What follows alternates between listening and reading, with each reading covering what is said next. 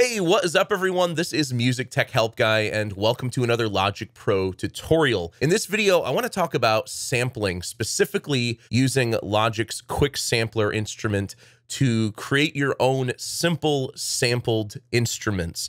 Now, if you don't have money to buy third-party uh, software instruments or sample-based instruments, and you still want to you know, have something that sounds unique and original and that you created yourself. Quick Sampler is perfect for this and it costs you nothing. All you need to do is grab some random items around your house and a microphone and you can record directly into Quick Sampler. So we are truly living in a golden age of sampling where we can turn just about anything into a sample-based instrument. And just as a quick example, this is a quick vocal patch I made and it took me about 30 seconds to do everything.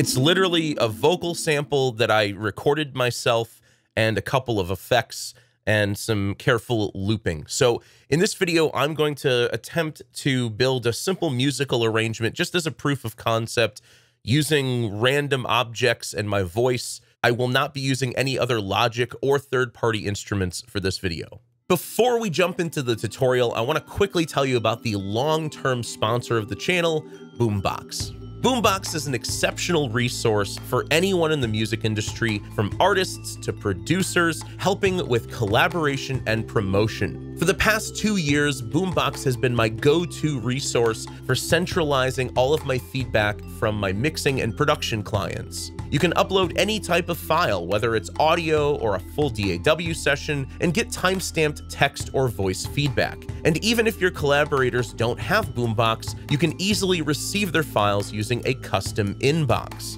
And that's just scratching the surface. With Boombox, you can create artist pages, manage contracts and royalties, share private or public playlists, and even collaborate with Boombot AI, your virtual co-writer. Check out boombox.io today and sign up to get 4 gigabytes of free storage. Okay, so let's get started. Let's uh, go ahead and recreate that uh, vocal uh, sample that I uh, played for you earlier. So I'm just going to create a software instrument track. I'm going to load up Quick Sampler on that track. The great thing about Quick Sampler is that it actually has a feature, this record feature, where you can record directly into the instrument. So all you've got to do is have a microphone hooked up like I do, set your input. So I'm in uh, input one. You can check your signal level here, and then you can just hit the record button and sing or play or you know do whatever you you want to do with it. I'm just gonna sing in like a single note with a little bit of vibrato. And I'm going to do it like in my falsetto range.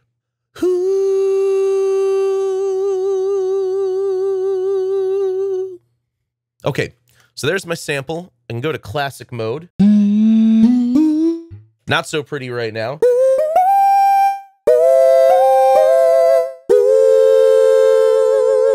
But one of the things that Quick Sampler does that's super helpful is it actually determines what pitch uh, you sang or played. So you don't need to like go and manually, you know, align the pitch of everything. Like it's it's already on the note it needs to be on. And what I can do is I can sort of trim up the front end a little bit, maybe trim up the back end a little bit. And now if I want to use this for like a vocal pad or something like that, and I want it to just complete, you know, continue to uh, sustain out, what I'm gonna what I'm gonna want to do is uh, make a loop out of this. So to do that, you just click on the sample here and you'll get your loop option here. And then you just put this on forward, reverse, or alternate. I'm going to put this on a forward loop. And then you can see that the blue range is the normal sample range. And then this yellow range is the loop range. So I'm going to set the loop range around the vibrato area.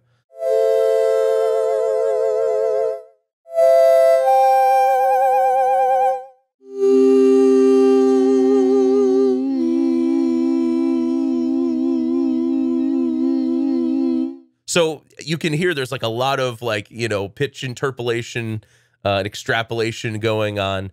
Um, but really, what what saves these types of instruments are the effects. Um, so what I'm going to do is I'm going to add the tape delay just for a little bit of like a little like a little bit of a delay. I'll filter that delay. So things just linger a little bit. And then after that, I'm going to add a reverb. Uh, one of my favorite reverbs to use is Raum from Native Instruments.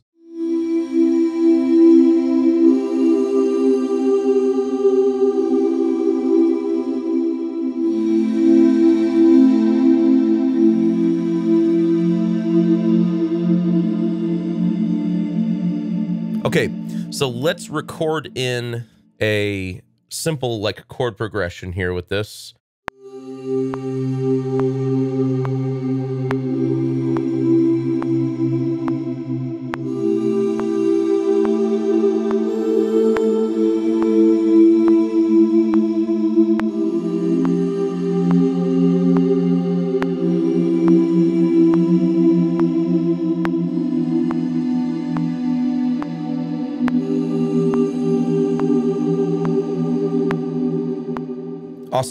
Right, so there's our first layer. We've got a nice little choir pad there.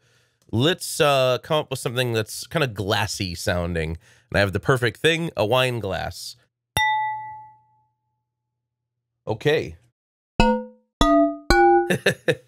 think we're going to need to go up in the, uh, in the, in the upper range here. I mean, look at that. Like literally one little tap on a wine glass and I've got a, a, full, you know, a new instrument here. Let's give this a little variety here. Let's turn on the filter. Let's make this a high pass filter. And I'm going to sort of roll off some of the bottom. Maybe I won't use a, I was going to use a one shot, but instead I think what I'm going to, I'm going to do is just go to the envelope here and pull out the release time. So when I just tap a key, the sound sort of rings out a little bit longer.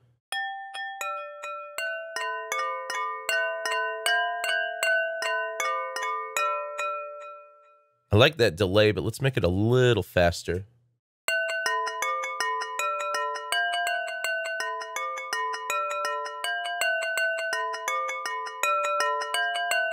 That's cool.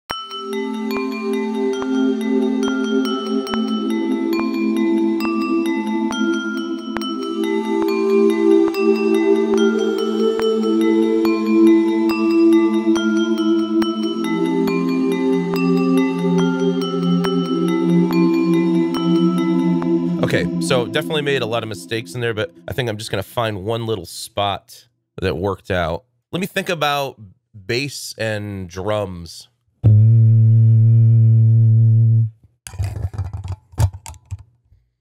Uh, let's see if that worked. I honestly don't know if that was worth keeping, but let's go down. Oh, yeah. Hell yeah. My sub's rattling the room now.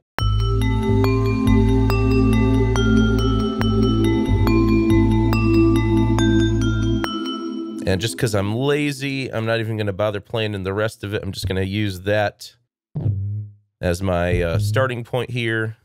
It's quantized to a 16th. Repeat that a few times. Join that together with J. And then we're just going to transpose these up and down.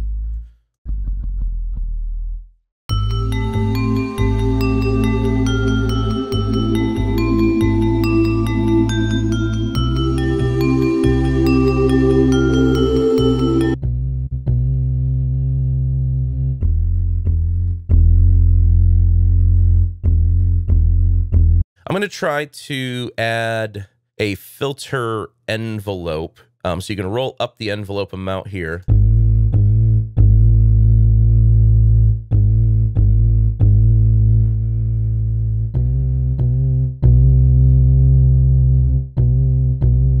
So what this means is this envelope is affecting the cutoff of the filter. So it's starting high and then it jumps down. So it gives a little more attack.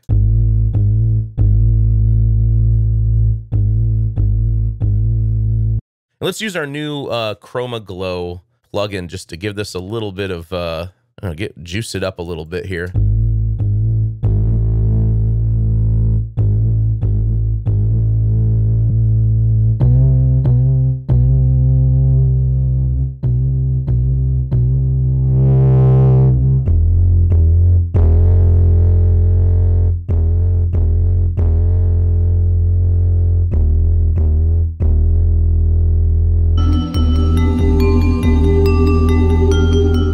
Got a uh, a cajon here that I'm going to totally uh, butcher the way you're supposed to play this. I'm just going to kind of hold this up here. Okay, so let's go to slice.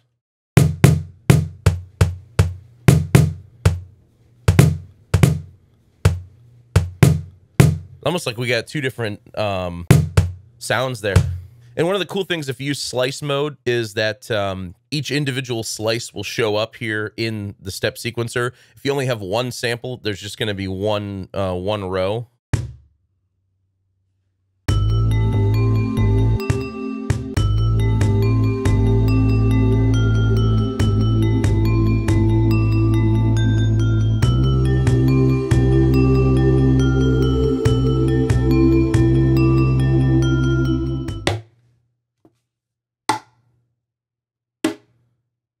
Okay, so I got a couple of sounds in there actually.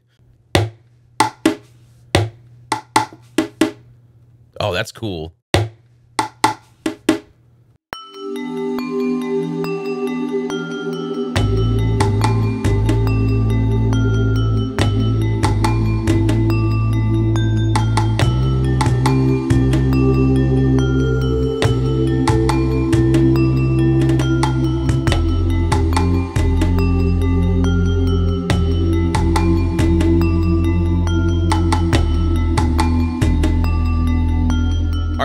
Clap. I'm just gonna, I'm just gonna do that, and I'm gonna kind of do it a little further away from the uh, the mic to get some more of the room in there.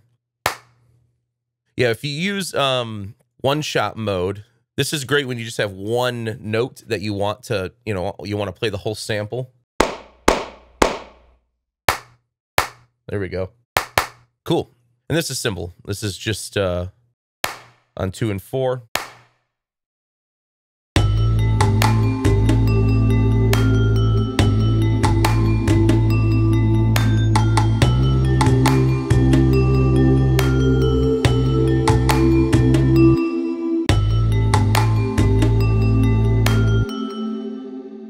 Okay, some of these notes are a little little far off.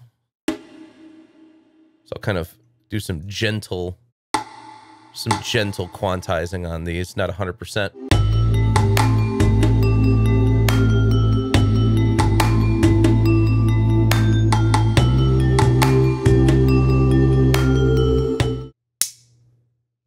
There's my hi-hat.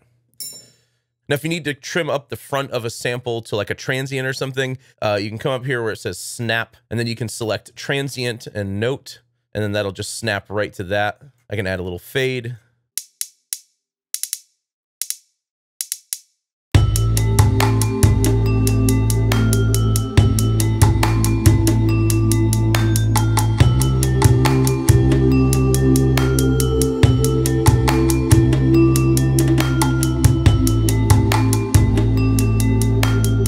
Okay, let's do one more. I'm going to do sort of like a synth lead sort of thing, and uh, I'm going to try my damnedest to make my voice sound like a like a trumpet, like a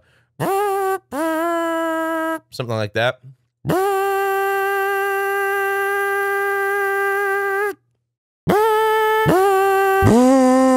Oh, okay. Let's uh, get rid of that little pitch drift on the beginning there. Let's add a loop to this. And actually, one of the things you can do is you can reverse the playback of the sample if you want. So it plays in reverse. Sometimes you get some, you know, different effects uh, doing it that way. And let's give this like a, a vibrato. So I'm going to use LFO 1. The rate I'll pull up around maybe 4 or 5 hertz. And then we need to assign this to the pitch. So I'm going to go to target and we'll select pitch. And then you have to pull out the amount here.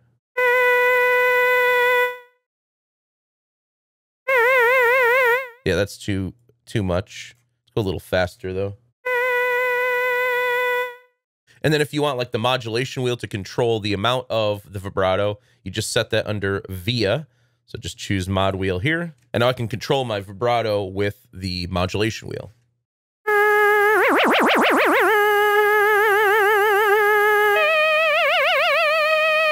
You do have to set a range for it though. Let's do something like that.